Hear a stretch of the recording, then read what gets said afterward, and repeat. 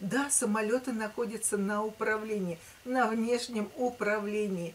Что хочу, то и делаю, как игрушкой, как джойстиком кручу, и вот они, самолеты, летают там, где я захочу. Примерно такая ситуация сейчас в авиакомпаниях наблюдается, поэтому это очень и очень опасно. Март 2019 года есть новости из Сочи курьезных. И не знаешь, как к ним относиться. Вот, допустим, Эдинбург вместо Дюссельдорфа. Самолет British Airways перепутал город и страну. Самолет британской авиакомпании British Airways, который в понедельник должен был лететь из Лондона в немецкий Дюссельдорф, по ошибке приземлился в шотландском Эдинбурге. Это возможно, скажите? Нет, наверное, это уму непостижимо, сказали бы вы в раньшие времена, то, что было до этого. Сегодня у нас все возможно, абсолютно все. Нам, правда, не сказали, был ли это Боинг 737, возможно. А если это Боинг, то значит его просто вели и над ним насмехались, и вели туда и посадили там, где это нужно было. Не стали разбивать самолет, не стали делать авиакатастрофу, а просто – посадили в другом городе. Вот так теперь смеются. Да, самолеты находятся на управлении, на внешнем управлении. Что хочу, то и делаю, как игрушкой, как джойстиком кручу, и вот они, самолеты, летают там, где я захочу. Примерно такая ситуация сейчас в авиакомпаниях наблюдается, поэтому это очень и очень опасно. Пассажиры узнали об этом только после посадки – когда во внутренней радиосвязи объявили «Добро пожаловать в Эдинбург». Ошибка произошла из-за того, что пилотам вручили неверный полетный план. Но вы в это верите? Нет, конечно. Это опять-таки, я еще раз повторюсь, это внешне управляли самолетом, показали, что как они могут расправляться, что бесполезно сопротивляться какому-то решению – какое-то влияние идет внешне на авиакомпании, поэтому такая вот происходит ошибка. То есть это насмешка, это гомерический хохот над самолетами, над авиакомпаниями. Рейс выполняла немецкая авиакомпания э, WDL Aviation – управлявшая самолетом по лизинговому соглашению с British Airways. Как сообщает пресс-служба British Airways, ошибка исправлена, и пассажиры уже прибыли в Дюссельдорф. Мы извинились перед клиентами из-за такой задержки в их путешествии и еще свяжемся с каждым из них отдельно и будут наверное, извиняться. И, наверное, будет какая-то компенсация. Без этого, наверное, невозможно. А это разорение компании.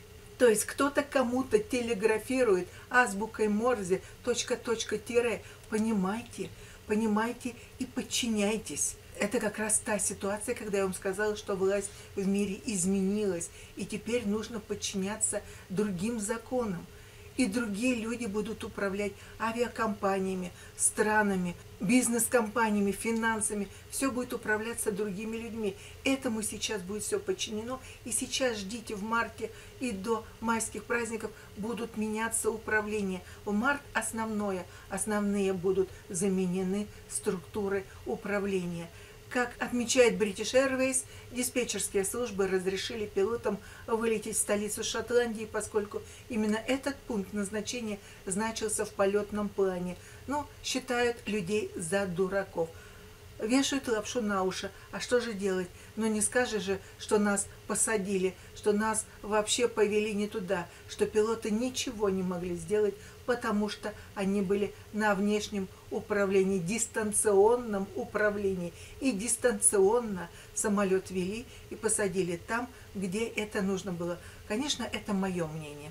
Это мой аналитический ум так мне подсказывает. Возможно, у вас другое мнение, и здесь я ни с кем не хочу спорить, просто высказываю свою личную точку зрения, так как мне подсказывает мой анализ внутри и анализ ситуации мира. Как рассказала летевшая этим рейсом 24-летняя Софи Кук, когда пилот объявил, что самолет начинает посадку в Эдинбурге, все подумали, что это шутка. Она даже решила спросить бортпроводника, не шутят ли они. Затем пилот попросил пассажиров поднять руки, если они хотят лететь в, Дюс... в Дюссельдорф. Но это вообще, понимаете? Ну вот вы летите в Москву, а сажают вас в Варшаве и говорят, поднимите руки, кто хочет лететь в Москву. Ну да, дожились, дожились уже и до этого, до абсолютного абсурда в внешней тайной власти управления нашим с вами миром. Матрица трещит по швам. Итак, возвращаясь, затем пилот попросил пассажиров поднять руки, если они хотят лететь в Дюссельдорф. Все подняли руки, рассказывает Софи. Пилот сказал, что не понимает, как это произошло. Он сказал, что такого никогда раньше не случалось, и что экипаж пытается придумать, что же теперь делать, говорит она. По словам Софи, после посадки в Эдинбурге самолет два с половиной часа простоял на стоянке в аэропорту. Они одуревали, они отходили от шока, дурости той, которая с ними случилась. Это было невыносимо. Туалеты не работали, еда закончилась, и вдобавок было очень душно. Но представляете, что сделали с пассажирами, да? Их просто всех измучили в конец. Это, конечно, очень необычная ситуация для пассажира – сесть в самолет и прилететь в другой город. Она вызывает много неудобных вопросов по поводу процедур и стандартов в сфере авиаперевозок. Рейс в Дюссельдорф выполняла немецкая коммерческая компания по поручению British Airways. Следует ли она тем же операционным протоколам, к которым привыкли пассажиры British Airways? Обязана обязана следовать, потому что это договор между компанией British Airways и должны выполнять все обязанности этой самой компании, любая компания, которая подключается, которая заключает договор. Почему перед взлетом пассажирам не сообщили? Погода в Эдинбурге хорошая, полет будет продолжаться один час. В таком случае можно было бы избежать многих затруднений.